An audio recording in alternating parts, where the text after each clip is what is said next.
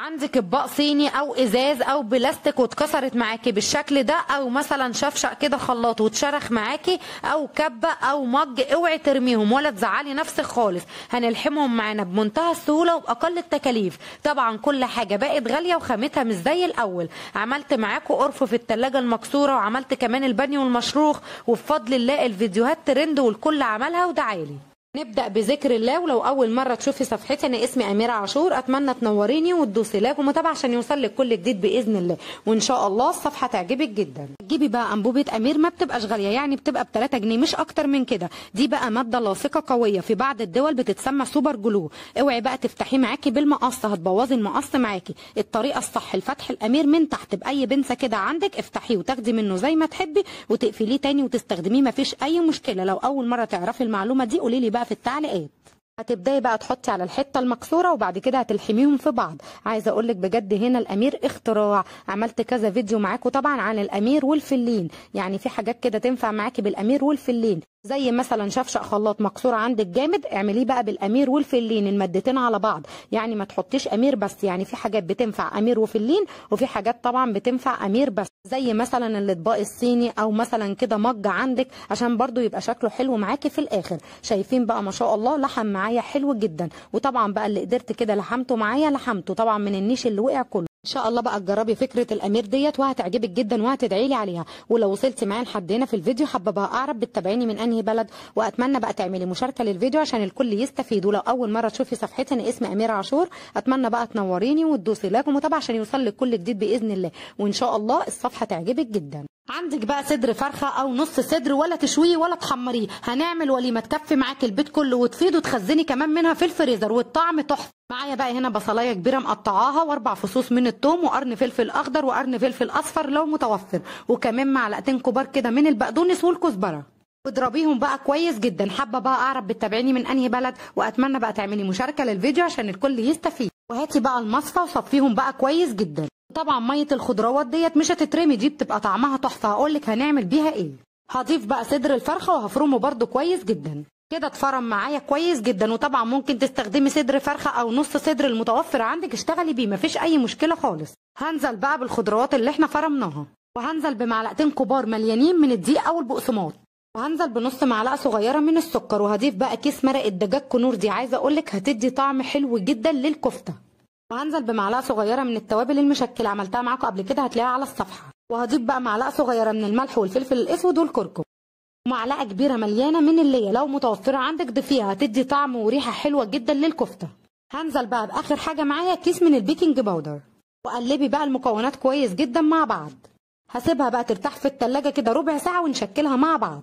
هجيب بقى معلقتين من الزيت وبلي بقى إيدك وابدأي بقى صبعي صوابع بقى أو زي ما أنا ما بعمل براحتك خالص اللي بتحبيه اعمليه. كده خلصت الكمية معايا كلها وما تخليهاش بقى ولا رقيقة ولا تخينة. هو السمك ده حلو جدا. وشايفين بقى ما شاء الله الكمية قد إيه. يعني من صدر فرخة عملتي وليمة وكمان تحطي منها في الفريزر. هتجيبي بقى الطاسة وعلى عين البوتاجاز. هتحطي بقى معلقتين كبار من الزيت. وابدأي بقى انزلي كده ورصي الكفتة بتاعتنا اللذيذة دي. أول بقى ما تاخد معاكي لون ذهبي حلو كده من تحت هتقلبيه على الناحية التانية على طول. شايفين بقى ما شاء الله اتضاعف كده حجمها ومنفوخة جدا كده معايا وما كشتش نهائي عشان خاطر ال baking powder اللي إحنا بنحطه بيخلي الكفتة معاكي كده هشة من جوه ومنفوخة كده وحلوة جدا وما تكشش معاكي. وهبتدي بقى اطلعها كده على طبق. وهنزل بباقي كمية الكفتة. وهنيجي هنا لمية الخضروات اللي شلناها على جنب. هضيف بقى عليها ربع معلقة صغيرة من الفلفل الأسود والملح. وهقلبهم كويس جدا وأحطهم بقى في الطاسة. وانزلي بقى بكمية الكفتة كلها اللي معاكي على مية الخضروات. هنا بقى المية بتاعة الخضروات نفسها هي اللي هتسوي لي الكفتة. وهتغطي بقى الكفتة وهتسيبيها بقى تستوي معاكي براحتها على نار هادية جدا. وبعد عشر دقايق الكفتة اتشربت معايا مية الخضروات واستوت معايا وعايزة أقول لكم حرفيا ريحتها تحفة. وابدأي بقى جيبي طبقك الجميل اللي فيه البقدونس وابدأي رصي بقى الكفتة بتاعتك اللذيذة الجميلة دي. جنب بقى مكرونة جنب بطاطس أو تاكليها كده بألف هنا. وبالشكل ده عملتي كمية رهيبة من كفتة الفراخ بطريقة سهلة وبسيطة جدا. شايفين بقى ما شاء الله الكمية قد إيه؟ وطعمها حرفيا عايزة أقول لكم تحفة وريحتها جميلة جدا. إن شاء الله هتجربيها بنفس الطريقة وتعجبك جدا. وأتمنى بقى لو وصلتي معايا لحد هنا في الفيديو ما تنسيش بقى تعملي مشاركة عشان الكل يستفيد. وأتمنى بقى تنوريني وتدوسي لايك ومتابعة عشان يوصل لك كل جديد بإذن الله. هجيب بقى معلقة كبيرة من اللبان المر اللي هو اللبان الدكر وهحط عليه كوباية كبيرة من المية السخنة وهسيبهم بقى منقوعين كده من بالليل للصبح. كده اتنقع معايا وبقى تمام. شايفين بقى ما شاء الله بقى عامل زي اللبن معايا. تعرفي بقى إن اللبان جبتيه أصلي إن هو يبقى عامل زي اللبن كده معاكي لما يتنقع مش مغشوش هتجيبي بقى أي طاسه تكون صغيرة كده عندك وابدأي بقى صفيه كويس جدا. وطبعا باقي اللبان ده مش بنرميه ممكن تنقعيه وتستخدميه تاني مفيش أي مشكلة. أو تمضغيه بيبقى حلو جدا لعلاج الكحة وطارد للبلغم وبينظف الجهاز الهضمي كله. وهتضيفي معلقة صغيرة من النشا وقلبي بقى كويس جدا عشان النشا كده تدوب معاكي وما يبقاش فيه أي تكتلات. ارفعيهم بقى على النار مع التقليب المستمر كده وخلي إيدك فيه عشان ما يكتلش معاكي ويعمل كتل. حابة بقى أعرف بتتابعيني من أنهي بلد وأتمنى لو وصلتي معايا لحد هنا في الفيديو ما تنسيش بقى تعملي مشاركة عشان الكل يستفيد. وهو ده بقى القوام اللي إحنا عاوزينه. شايفين بقى؟